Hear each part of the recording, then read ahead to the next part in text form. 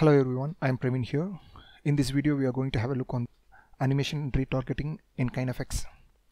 Uh, KineFX is a rigging and animation workflow and can create and edit the characters at the geometry level. And the animation retargeting is the process taking the animation from one character and transferring it to another character. And this is my character which the geometry has been captured and exported as FBX format so first let me create the geometry node here.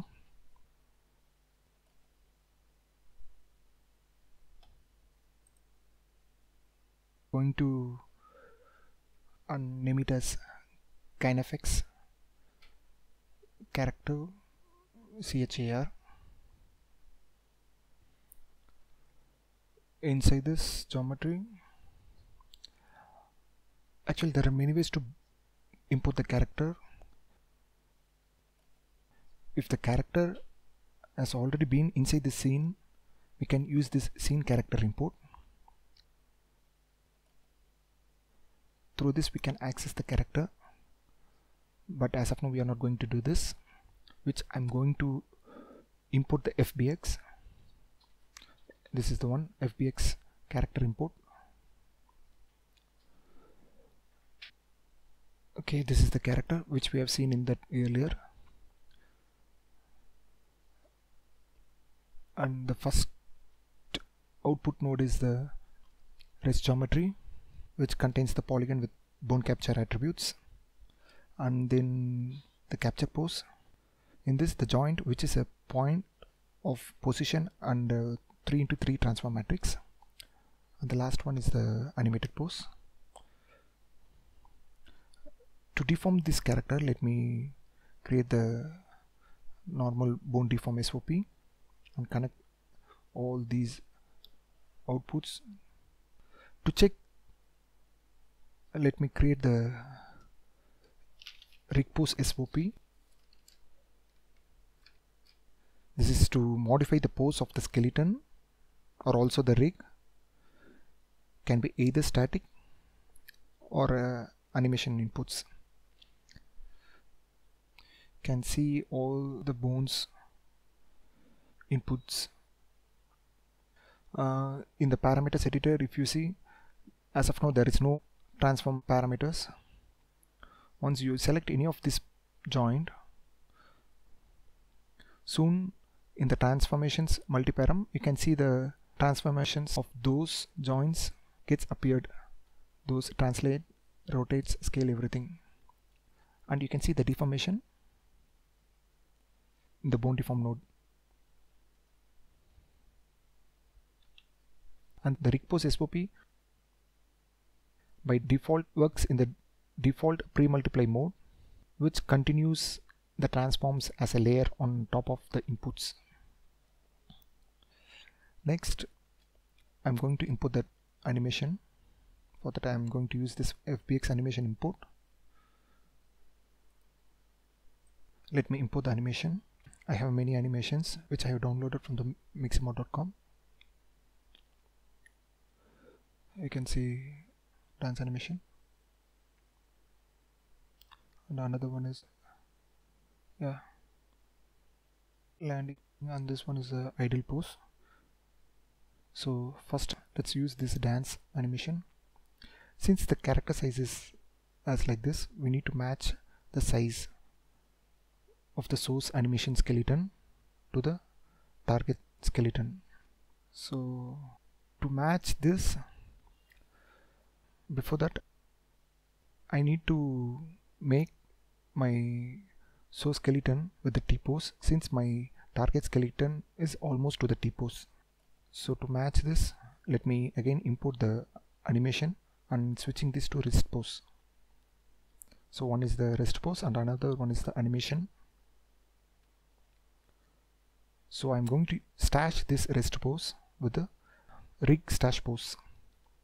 This pose simple like the other stash SOP which uses to store a pose as static. And we are going to connect these two to the rig stash pose. Now you can see according to the names and everything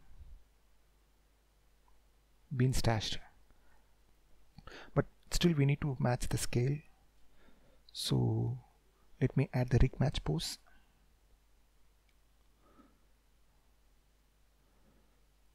so with this rest transform attribute I'm going to match this. Now by default it has been matched. It's because of the option called enable match bones.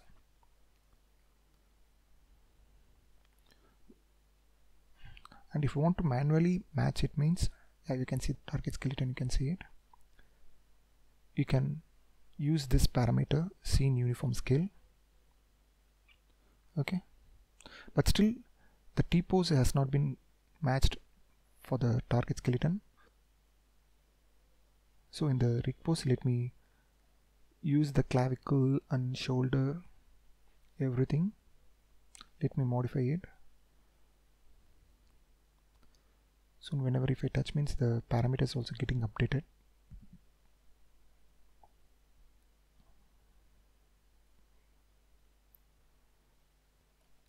Yeah somewhat I matched. Remaining things see later. With this apply transform to the target skeleton. Everything has got matched but the names have been different. So to match all according to the respective points I'm going to use the map points.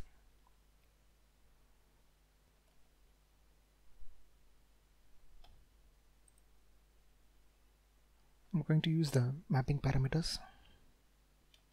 And this mapping parameters gets update by mapping these points by clicking the leftmost button and dragging from one point to another.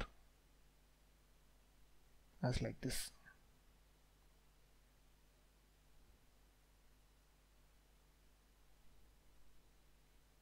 and you can see in the mappings multiparam all these points have got updated. And to transfer this animation I'm going to use the full body IK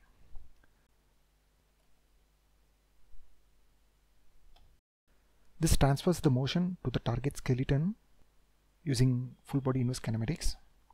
Now you can see it has got transferred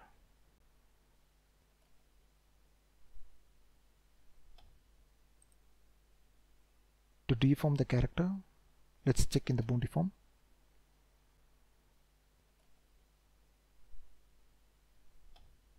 we have got the animations.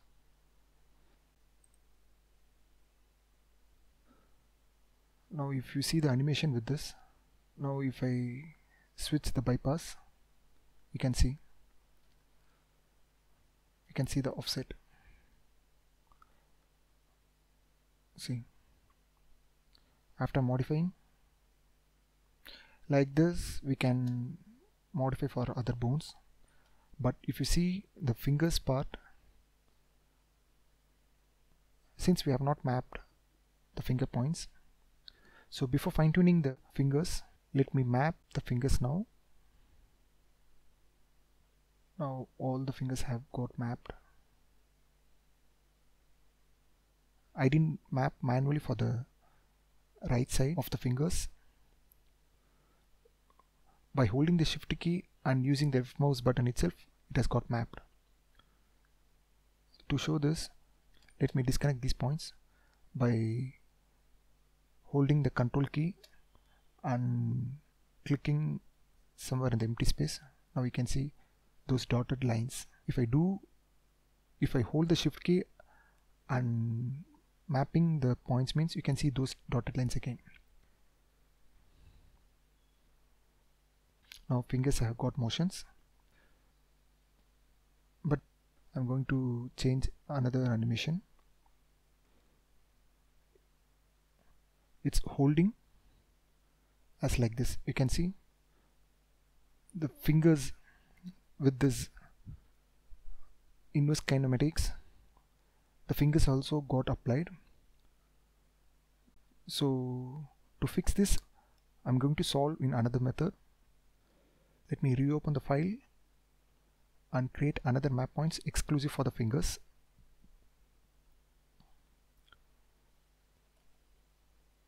And name it as fingers. Since the mapping name is the same name for the IK solvers so I'm going to rename for the new name as mapping fingers. In the mappings multiparam I'm going to add only the fingers and the wrist part. So now by holding the shift key and clicking the left mouse button you can see now all the fingers have got mapped you can see the wrist and the fingers have been mapped under the attribute name of mapping fingers.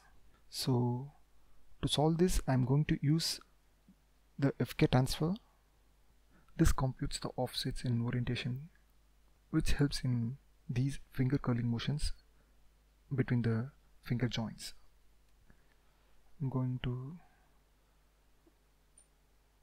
connect source and the target?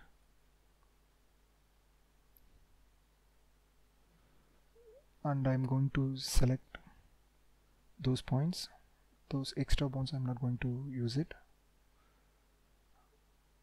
And the mapping attribute name is mapping underscore fingers.